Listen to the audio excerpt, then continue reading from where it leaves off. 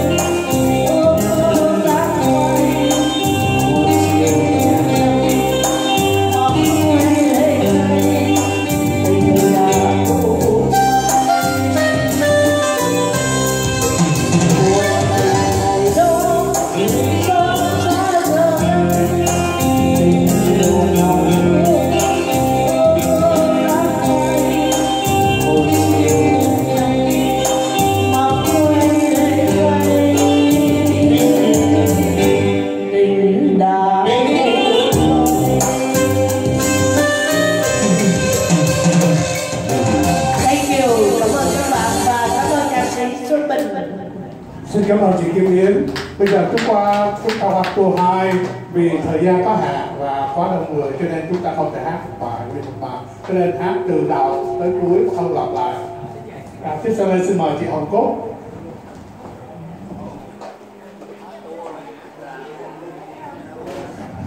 Qua tour này chúng ta hát từ đầu tới cuối sẽ không lặp lại.